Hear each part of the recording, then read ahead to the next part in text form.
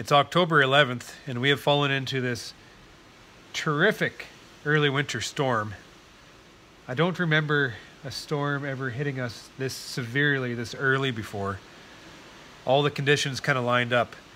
Uh, we were over at the cattle farm trying to feed the cattle, and the whole feedlot is saturated, and now it has a foot and a half of snow over top. Three foot banks all across the yard.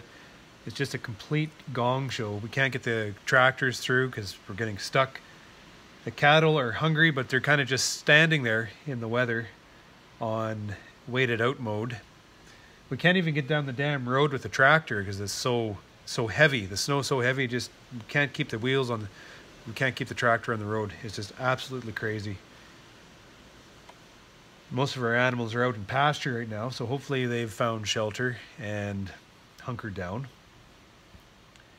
and my hives. I'm kind of concerned a little bit about my hives being buried in the snow, but I rest assured that these colonies are strong and maybe getting covered over with snow is maybe a good thing just to keep them out of this terrible wind.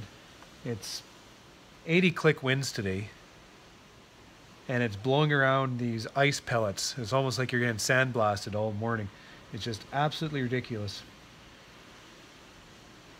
So once I can travel the roads, I'll have to uh, get out and just take a peek to see how the colonies are doing. I don't want them to suffocate, but I'm certain that they're warm enough that they'll be able to, uh, you know, melt the entrance and, you know, not ice up. Um, it's not so much the snow cover, but it's the ice up around the hives that I'm concerned about and they'll suffocate. Because one disadvantage of what I do with my honey operation is I will have that pliable inner cover and I have that sealed top so I don't have any sort of ventilation or access out that top. I do that very purposely to help uh, manage terrible winds like this and just to help increase the moisture within the colony as I bring them inside. But uh, when they're outside and the entrances get iced over, you know, it causes a little bit of a, a risk, a bit of a concern. So I'll just have to wait out the storm and then head out to the yards and see what's up. Rest assured they're strong, so they should be able to manage themselves. so I have these four, five, yeah, five little colonies here. We were making around with the feed uh, before the storm hit. It was Thursday. And along the side edge of one of our mating yards, we found these five little colonies we must have forgot. We went, took a peek into them, and they're, you know, they're managing themselves, but they were right empty of feed. Like they were pretty light. So we went with pails and we dropped some pails on them. They instantly started taking syrup down.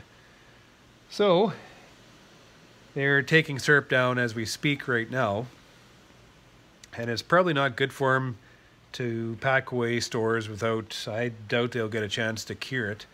But it'll be a nice little experiment to see what's going on, to see how they can manage their food reserves and the moisture within their colonies. So I'll just, we'll go over there, we'll take a little peek. Uh, they're actively feeding on the pails, is really cool. And these little guys, I mean, they're not a full nuc size, they're, they're smaller. Um, because they plugged themselves out with honey, but then through the fall they've consumed it all rearing that winter brood nest. And now we're trying to pack on the, the uh, winter weight before weather sets in to where we have to move them inside. Kind of like the weather today. Fucking weather. So let's go take a peek.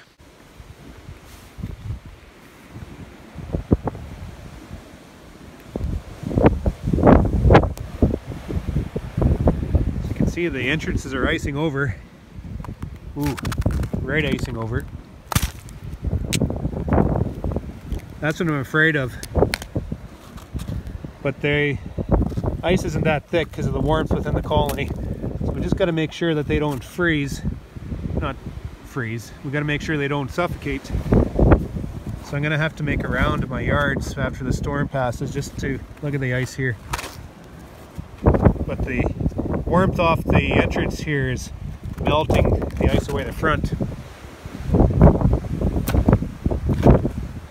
See here too, the entrance is all melting away.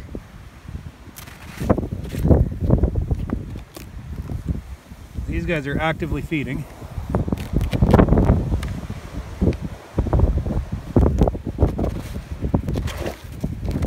It's about zero degrees right now. These pails are just about done. Well, I'll fill them up again tomorrow. And this is uh, what I suspect most of my yards are going to look like, completely buried.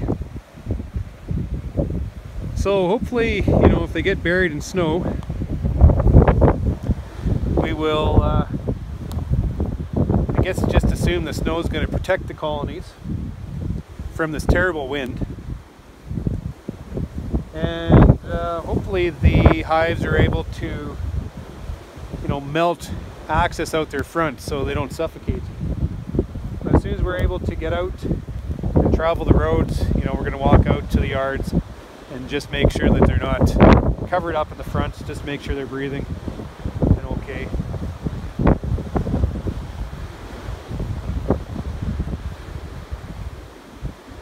And kind of like our cattle, I guess, all we can do is just kind of wait it out. So we're waited out mode right now.